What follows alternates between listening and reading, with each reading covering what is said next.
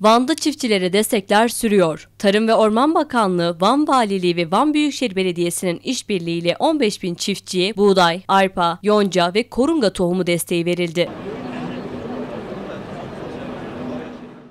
Sertifikalı tohum dağıtımı projesi kapsamında 2022-2023 yıllarında 15 çiftçiye 170 milyon lira değerinde destek sunuldu. Büyükşehir Belediyesi Makine İkmal Müdürlüğü sahasında düzenlenen programda konuşan Van Valisi ve Büyükşehir Belediye Başkan Vekili Ozan Balcı, çiftçileri desteklemeye devam edeceklerini vurguladı. Biz çiftçileri her zaman seviyoruz. Çiftçilerin yanındayız. Üretimi de destekliyoruz.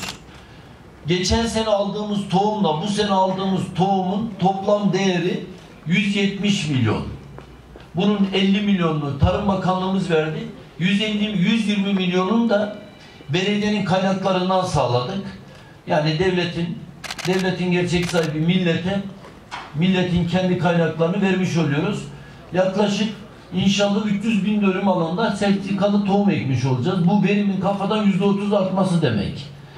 Ben çiftçileri seven, üretimi seven bir vali olarak çiftçilerin mutlu olmasından büyük mutluluk duyuyorum. Şimdi burada mesela 19 tane arkadaşlar getirdi. 19 tır var. Tam 170 tır malzeme alıyor. Yani tohum getiriyormuşuz biz var toplam. 170 tır böyle. Ama bu yeter mi yetmez daha çok destek vermemiz lazım.